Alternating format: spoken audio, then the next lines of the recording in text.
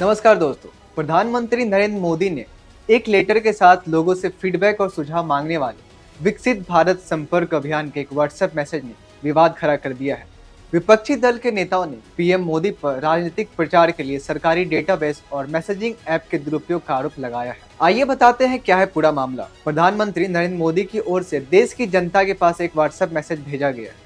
जिस पर विपक्षी नेता भड़क गए और इसे आचार संहिता को उल्लंघन करार दिया है। दरअसल, प्रधानमंत्री मोदी ने लोगों को व्हाट्सएप पर मैसेज भेजकर जनता से विकसित भारत के निर्माण के लिए समर्थन मांगा। विपक्ष के कुछ सांसदों ने निर्वाचन आयोग से इसी पत्र को लेकर पीएम मोदी के खिलाफ कार्रवाई की मांग की।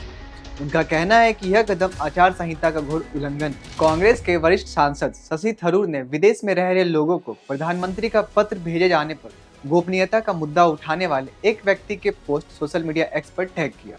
उन्होंने कहा, क्या निर्वाचन आयोग सत्तारूढ़ दल को पक्षपातपूर्ण राजनीतिक हितों की पूर्ति के लिए सरकारी मशीनरी और सरकारी डेटा का इस तरह से ज़बरदस्ती दुरुपयोग पर ध्यान देगा? कांग्रेस नेता मनीष तिवारी ने भी सोशल मीडिया प्लेटफॉर्म एक्स पर वह व्हाट्सएप संदेश पोस्ट किया, जिसमें वह पद संलग्न है, जो उनके फ़ोन पर प्राप्त हुआ था।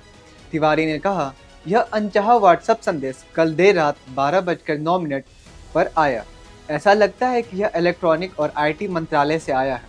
क्या यह आचार संहिता और निजता के अधिकार दोनों का खुला उल्लंघन नहीं है? उन्होंने यह सवाल किया, मंत्रालय को मेरा मोबाइल नंबर कहाँ से मिला और ये अनाधिकृत रूप से किस डेटाबेस तक पहुँच रहे हैं? तृणमूल कांग्रेस सांसद साकेत गोखले ने आरोप लगाया कि पिछले दो दिनों में न केवल भारत, बल्कि दुनिया भर से आए लोगों को मोदी और बीजेपी को बढ़ावा देने वाला यह विकसित भारत व्हाट्सएप संदेश भेजा गया। उन्होंने कहा कि निर्वाचन आयोग को इस पर कार्रवाई करनी चाहिए। अभी के लिए फ़िलहाल इतना ही। आपका इस मुद्दे पे क्या विचार है, हमें कमेंट सेक्शन ज़रूर बताएँ। और ऐसी तमाम जानकारियों के लिए जुड़े रहे हमसे और देखते रहे क्लिक इंडिया